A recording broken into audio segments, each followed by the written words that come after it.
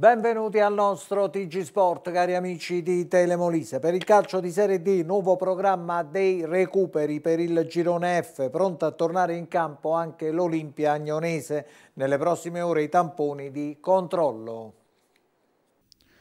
Turno interlocutorio in vetta alla classifica del girone F, due pareggi per le battistrada Campobasso e Notaresco. Siamo nella parte finale del campionato, ogni gara comporta delle difficoltà. Certo il turno andato in scena domenica era sulla carta pro Campobasso. I fatti hanno dimostrato i pronostici, il Notaresco ha avuto i suoi grossi grattacapi contro l'FC Matese, tanto da riuscire ad evitare la sconfitta solo in zona Cesarini. Al contrario il Campobasso non è riuscito a portare a casa l'intera posta in palio contro la Vastese Ribadendo il concetto espresso all'inizio, senza dubbio la vittoria era alla portata anche alla luce degli oltre 20 giorni di stop della Vastese tornata in campo mercoledì scorso nel recupero perso all'Aragona contro l'FC Matese.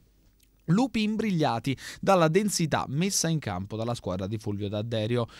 Poche le chance per pungere con l'unica vera occasione arrivata nel secondo tempo con il salvataggio miracoloso di Boccanera sul tiro ravvicinato di Esposito. La costante del girone di ritorno è che il campo basso fa fatica a realizzare contro le squadre chiuse in difesa. Una difesa anche ad oltranza, come visto in più occasioni dalle avversarie degli uomini di Cudini, che in particolar modo nella seconda frazione di gioco hanno rinunciato anche alle ripartenze. Ci riferiamo alle gare contro Castelfidardo, Aprile e Recanatese, vinte 1-0 ai pareggi a reti bianche contro Giulianova, Montegiorgio, Matese e Vastese. Chiaramente il discorso cambia contro le squadre che hanno giocato per vincere contro i Lupi con gare fatte a viso aperto. In queste partite, non a caso, Esposito e compagni hanno annichilito gli avversari. Vedi Notaresco, vedi Castelnuovo Vomano, vedi anche Cinzia Albalonga, dove nonostante la sconfitta, l'elemento fortuna è stato senza dubbio decisivo. Ebbene, cosa è vincere da questi dati? Due considerazioni. La prima è che la difesa è davvero di ferro, la fase difensiva è precisa e puntuale. La seconda testimonia che il campobasso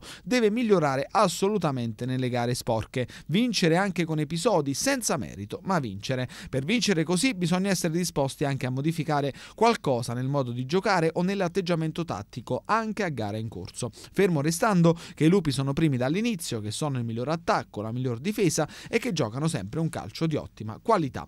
Un percorso di assoluto livello che deve trovare massima applicazione nella vittoria del torneo. Ora 15 giorni di stop, ieri pomeriggio la LND ha apportato alcune variazioni al programma dei recuperi del 21, 25 25 e 28 aprile. Dal nuovo programma infatti non si giocherà mercoledì 28 aprile la sfida tra Campobasso e Pineto. Gli abruzzesi scenderanno in campo al Civitelle contro l'Olimpia Agnonese proprio nel giorno di mercoledì prossimo. Piccola parentesi sull'Olimpia Agnonese, la squadra granata tornerà in campo esattamente domenica nel recupero in trasferta contro il Porto Sant'Elpidio. In merito alla lotta al vertice tra Campobasso e Notaresco, la LND è pronta a far giocare giustamente le due squadre in contemporanea per garantire massima regolarità alla lotta per la Lega Pro, quindi con grande probabilità Campobasso Pineto sarà giocata lo stesso giorno di Notaresco Montegiorgio, verosimilmente domenica 2 maggio, così come le gare Notaresco Pineto e Vasto Girardi Campobasso, probabilmente in campo mercoledì 5 maggio.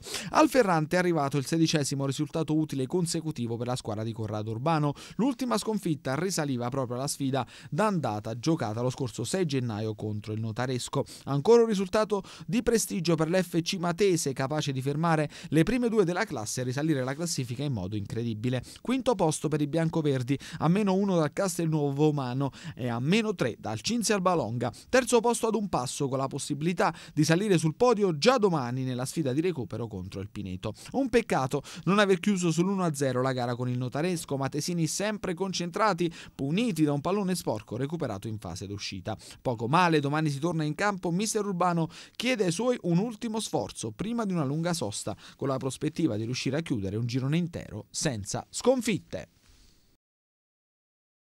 Il Campobasso non è andato oltre lo 0-0 contro la Vastese. Nel post gara il commento del fluidificante Van Zan.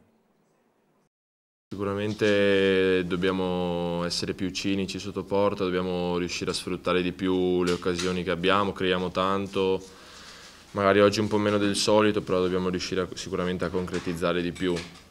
poi sai, con noi, soprattutto quando giochiamo in casa, le squadre vengono qui e la maggior parte si, si chiude, sta dietro, ci aspetta, quindi è anche difficile trovare gli spazi e di conseguenza è difficile anche creare occasioni. Ti ho detto, secondo me dobbiamo, dobbiamo sicuramente essere magari più cattivi sotto porta e cercare di concretizzare magari quelle 3, 4, 5 occasioni che abbiamo avuto, almeno muovere la rete. Ecco. Ecco perché, anche perché mi riallaccio a quello che dicevi, ecco, non è stata una prestazione negativa, anzi eh, avete trovato un avversario che si è chiuso, ha fatto una partita dal punto di vista temperamentale eh, molto valida, quindi me, avete costruito meno del solito, quindi lo 0-0 può essere figlio di queste, di queste valutazioni. Sì, mm, come ho detto, la maggior parte delle squadre vengono qua e si chiudono, non ci lasciano pochi spazi loro hanno fatto sicuramente la loro partita attenta, ci, appunto ci hanno lasciato poco spazio. Però questo poi deve, ci, ci, deve far capire anche che, che magari dobbiamo, dobbiamo, adeguarci di più alla partita, dobbiamo, come detto prima, concretizzare di più magari quelle poche occasioni che abbiamo e questo dobbiamo, dobbiamo sfruttare al meglio. Il Castelnuovo Vomano, dopo le sconfitte contro Campobasso e Notaresco, è tornato a fare punti, pareggiando una gara difficile contro la Cinzia al Balonga. Perdeva 3-0, poi ha impattato 3-3. Al termine della gara il commento dei tecnici. Mister Di Fabio, reazione che dimostra eh, quanto ci siamo sempre detti che questa squadra è viva. No, è, è stata una partita importantissima per noi perché eh, stiamo vivendo un momento non felicissimo, capito? E, e in queste partite in tante occasioni gli episodi hanno fatto la differenza. Oggi eh, per quello che è successo in campo poteva ammazzare anche un toro. Noi nonostante tutte le difficoltà tra errori nostri, errori arbitrali, un po' di tutto, eh, ci siamo messi lì a crederci fino alla fine. E eh, devo dire che questi ragazzi sono stati veramente fantastici a dimostrazione di quello che penso io di loro, eh, che è un gruppo fantastico che non molla mai e che tornerà a, a brillare come ha fatto nella prima parte di campionato ha sempre detto che eh, durante nei post partita non vuole mai lamentarsi degli arbitri, ma il rigore su De Gidio nel primo tempo e sul capovolgimento di fronte è arrivato il gol eh, della Cinzia, c'è da ricriminare, apparso netto. Sì, adesso mi dicono così che è netto, ma poi detto in questo momento eh, paghiamo tutto perché poi al di là del fatto che non c'è dato il rigore siamo andati su, abbiamo preso il gol perché magari siamo un attimo di, distratti per quella situazione lì. Quindi, eh, sono tutte situazioni che eh, in questo momento noi paghiamo e non ci possiamo permettere. Poi detto, siamo stati bravissimi a recuperare questa partita contro una squadra fortissima, secondo me la più bella che è venuta qui. Eh, che ha dimostrato tutto il suo valore, ci ha proprio, specialmente nei primi 20 minuti, mezz'ora, eh, non, non, ci ha fatto giocare, ci ha messo in difficoltà. È sempre difficile trovare una spiegazione. Eh a un risultato del genere per come si è incanalata la partita e per quello che, la, che i ragazzi erano riusciti a fare per, eh, per gran parte della gara, ecco, eh, riuscendo ad arrivare ad avere un vantaggio di tre gol.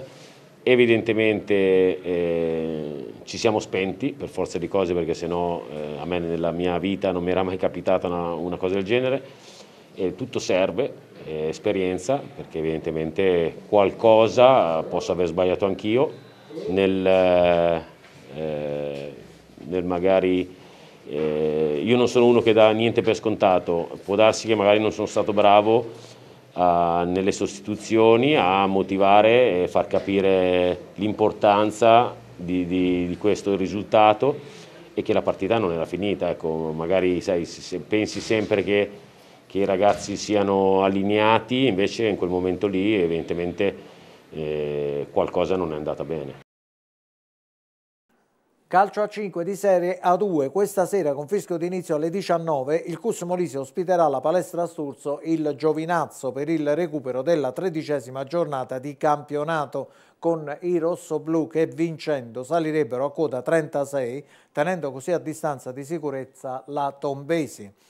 Calcio d'eccellenza domenica al via il campionato, quello che resta del campionato, per meglio dire, la questione Boiano è rientrata e Domenichi Matesini saranno di scena al Cannarsa contro il Termoli. A proposito della ripresa, domenica è intervenuto durante Domenica Sport il presidente del comitato regionale.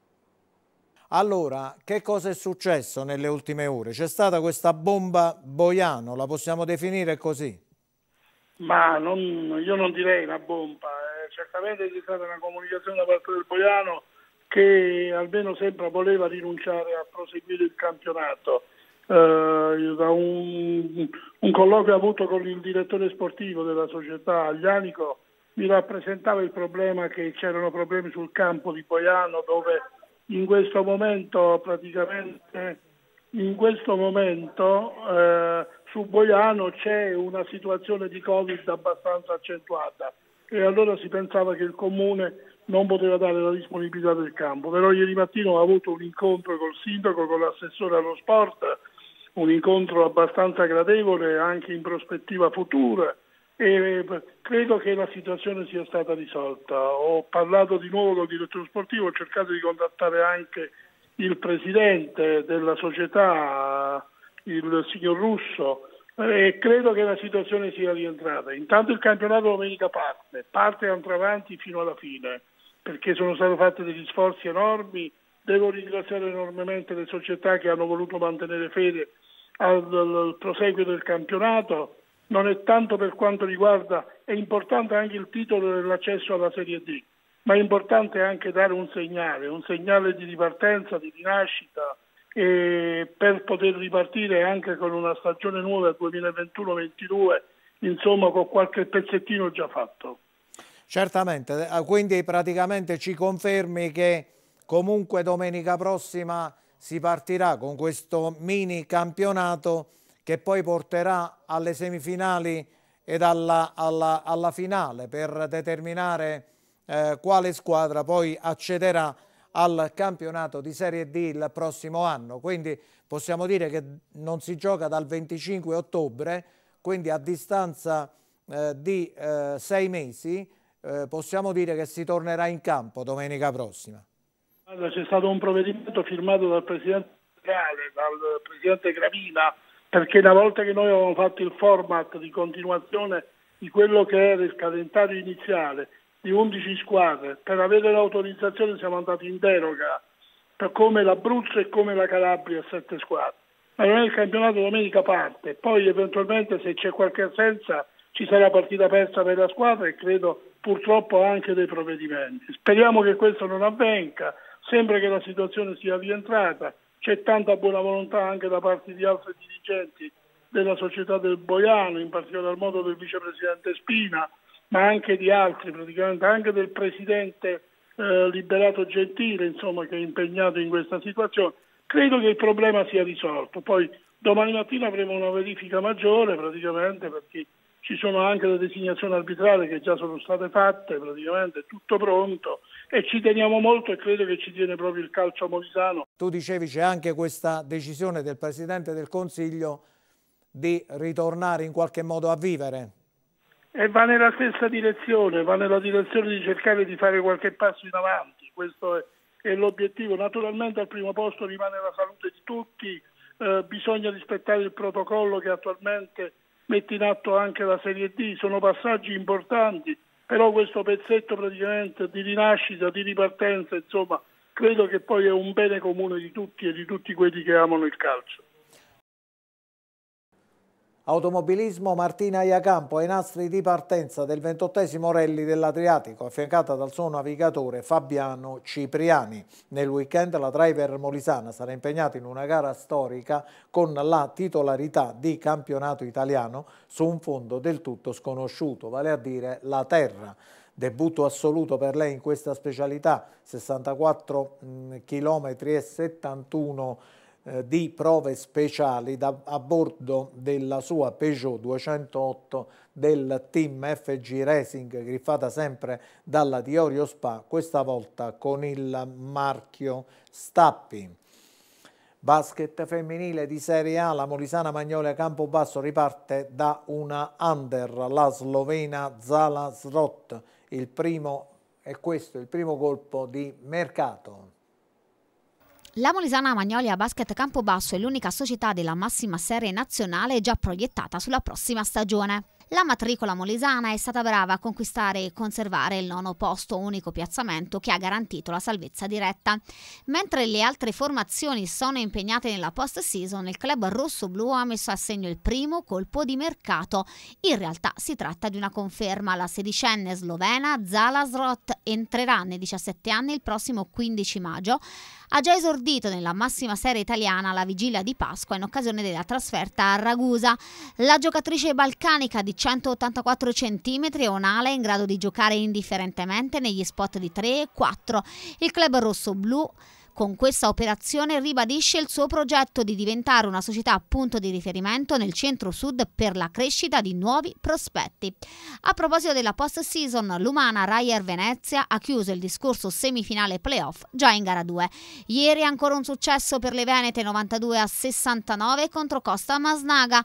Una tra Bologna e Sesto San Giovanni sarà l'avversaria del Venezia. Ieri le emiliane hanno sfruttato al meglio il fattore casa vincendo 69 a 57.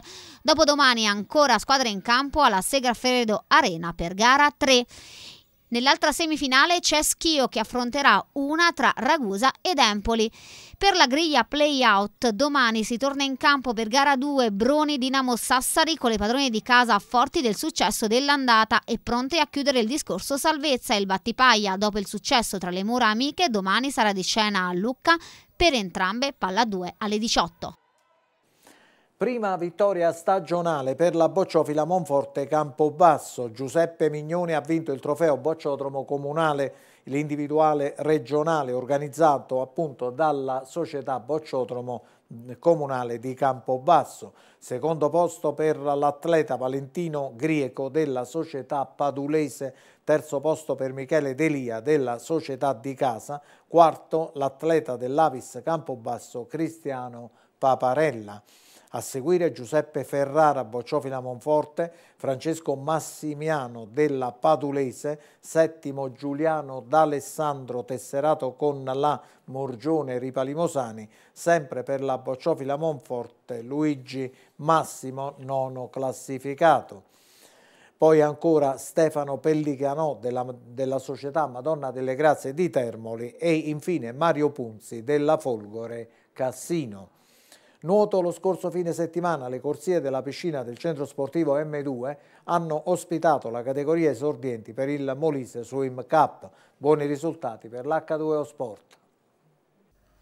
Un fine settimana intenso per gli esordienti dell'H2O Sport alle prese con la prima tappa della Molise Swim Cup. Gli atleti hanno confermato in vasca l'ottimo stato di forma migliorando tutti i loro riscontri cronometrici. Nella categoria esordienti A Lorena Andrea Visan classe 2010 si è aggiudicate 200 d'orso con il tempo di 2.51 e 2. Doppio podio conquistato dalla compagna di team Sofia Ventrella, seconda nei 400 misti con 6 36 e terza nei 200 d'orso con 2,52,5. Medaglia di bronzo per Sara Simeone nella gara dei 100 rana completati con il crono di 1,33,3. Stesso piazzamento centrato da Laura Falbo nei 400 missi coperti in 6,55 e 5.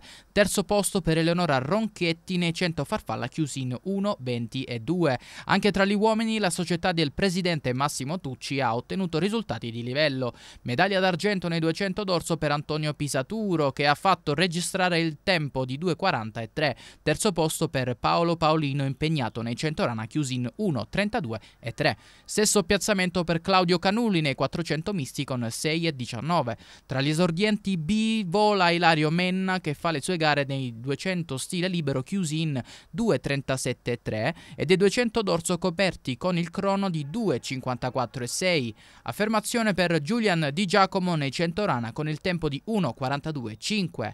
Argento per Vittorio Cianciullo nei 200 d'orso con il riscontro cronometrico di 3, 1 e 6. I risultati arrivati dunque rappresentano la prova del duro lavoro di preparazione che in un periodo così complesso rende doppiamente soddisfatti i tecnici Giorgio Petrella, Luca Di Giacomo, Paolo Di Lullo e Fabrizio Cinquina, dichiarazioni confermate da Giorgio Petrella raggiunto proprio dai nostri microfoni. Diciamo che questo è un periodo particolare, le società si stanno impegnando al massimo per farci nuotare, le piscine giustamente sono degli impianti che portano tantissime spese, quindi dobbiamo ringraziare anche i nostri presidenti, io ringrazio il mio e ringrazio la società H2O che ci permette di continuare ad allenare questi ragazzi. In questi tempi non è facile. Il periodo è difficile, sì, però dai, alla fine vedere questi ragazzini, questi bimbi tutti riuniti qui ci fanno ben sperare per un proseguo, insomma, diciamo, eh, più luminoso. Da allenatore Giorgio è importante, sin dall'età prima età il nuoto per i bambini. Allora è importante sì, innanzitutto per la loro sicurezza, soprattutto per i bambini che abitano in zone dove c'è il mare, ma anche per i bambini che vanno a fare le vacanze al mare e è importante per, per, la loro crescita, per il loro sviluppo e poi comunque è una disciplina formativa che ti, insomma, ti forma anche per una vita futura. Voi come l'M2 siete sempre in movimento, siete sempre sul pezzo come si dice, eh, programmi futuri per l'H2? H2O? Allora noi cerchiamo sì, di essere sempre sul pezzo, di essere presenti a tutte le manifestazioni regionali e di essere presenti anche alle manifestazioni nazionali, quindi diciamo che il movimento è forte e niente, con l'impegno, con la dedizione, con la costanza degli allenamenti cercheremo di andare e di, e di scalare sempre un gradino più, più in alto. L'ultima cosa, fra poco si dovrebbe diciamo, tornare alla normalità. Sì, si dovrebbe tornare alla normalità, speriamo, perché eh, ci siamo anche un po' stufati di vedere questa situazione e niente, noi come piscine riapriremo il primo di giugno le piscine coperte, mentre il 15 di maggio le piscine scoperte. E ci dobbiamo rimboccare le maniche perché in questi periodi ci sono, state, ci sono state grandi perdite, ci dobbiamo dar da fare, anche per recuperare il tempo perso e per recuperare insomma, tutti i ragazzi che sono rimasti a casa senza fare attività fisica. Pallavolo femminile di Serie C, la nuova pallavolo Campobasso ha ceduto al tie break contro il Chieti. Nel post partita il commento del tecnico.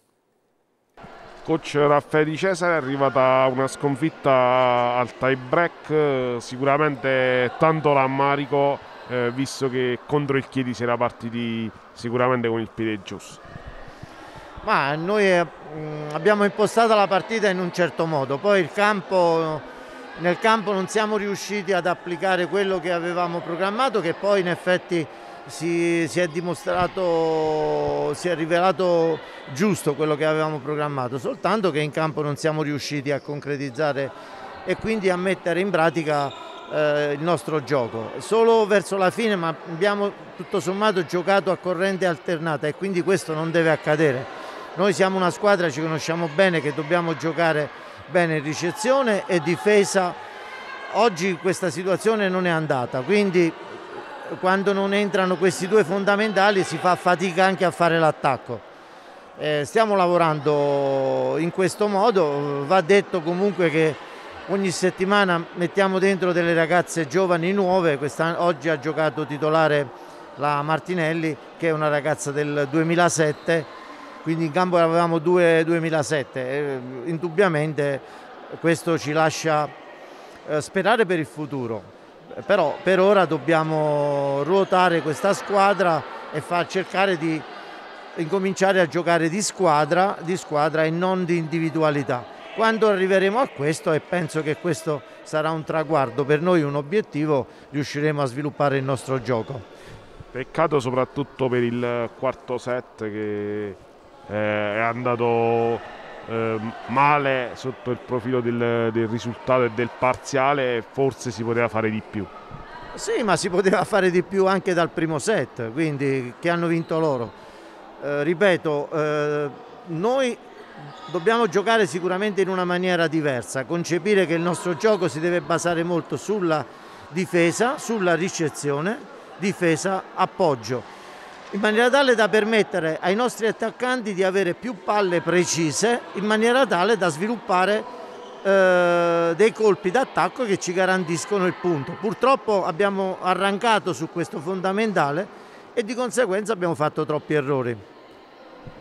Campionato sicuramente condizionato anche dalla, dal momento e dalla, dalla pandemia, eh, qual è l'obiettivo?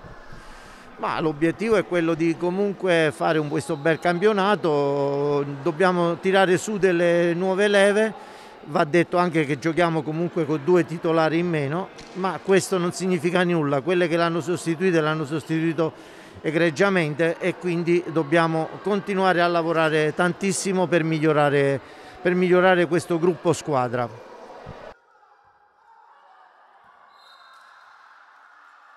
Bene, è tutto per questa edizione del nostro TG Sport. Buon pomeriggio.